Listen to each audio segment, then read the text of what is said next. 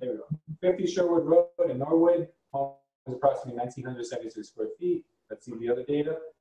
Okay, this is a single-family home, that has a lot size of about 10,000 square feet. This home was built in 1940 and renovated about 25 years.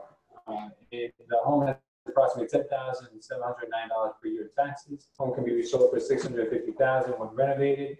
Budget 60,000 for repairs, and you can rent this home for around $3,850 per month. And from what we have on title, title looks pretty solid. Um, you know, there's roughly around six hundred thousand owed on the property. Other than that, make sure you check your taxes. Uh, based on the as-is value of four fifty, could lend you potentially on a property like this, almost possibly hundred percent financing on it. Uh, also repair estimate of sixty thousand dollars would fall in line with the ARV. Okay, the roof on this house is an architectural type in above average condition.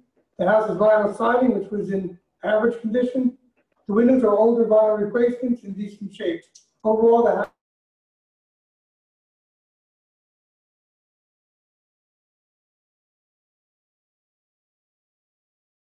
the average condition.